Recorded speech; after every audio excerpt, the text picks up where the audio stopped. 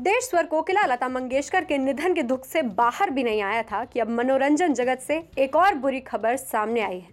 B are Chopra की महाभारत में भीम का किरदार निभाने वाले अभिनेता प्रवीण कुमार सोबती का निधन हो गया है।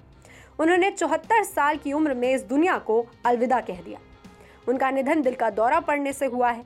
बीती रात साढ़े नौ बजे उन्होंने अपनी अंतिम सांस ली है। बताया जा रहा है कि प्रवीण कुमार सोबती लंबे समय से बीमारी और आर्थिक तंगी से जूझ रहे थे। उन्होंने अपने मज़बूत शरीर के दम पर एक खिलाड़ी के तौर पर अपने करियर की शुरुआत की थी। हैमर और डिस्क थ्रो में उन्होंने कई पदक जीते हैं। एक खिलाड़ी के रूप में अपने करियर की शुरुआत करने के बाद प्रवीण कुमार सोबती ने बॉलीवुड का रुख किया था। कई फ़िल्मों में विलन का रोल किया, लेकिन उन्हें सबसे ज़्यादा पहचान दिलाई बी आर चोपड़ा की महाभारत ने, जिसमें उन्होंने भीम का रोल निभाया था। इस किरदार ने उन्हें घर घर में फ़ेमस कर दिया। अपने दमदार शरीर के चलते भीम के किरदार में प्रवीण कुमार सोबती खूब पसंद किए गए।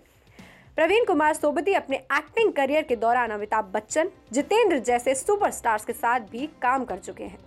उन्होंने साल 1981 में आई रक्षा से अपनी फिल्मी करियर की शुरुआत की थी। इसी साल आई मेरी आवाज़ सुनो में भी प्रवीण कुमार सोबती अहम रोल में नज़र आए थे। इन फ़िल्मों में उन्होंने जितेंद्र के साथ काम किया फिर अमिताभ बच्चन की सुपरहिट फ़िल्म शहनशाह में भी वो नज़र आए थे।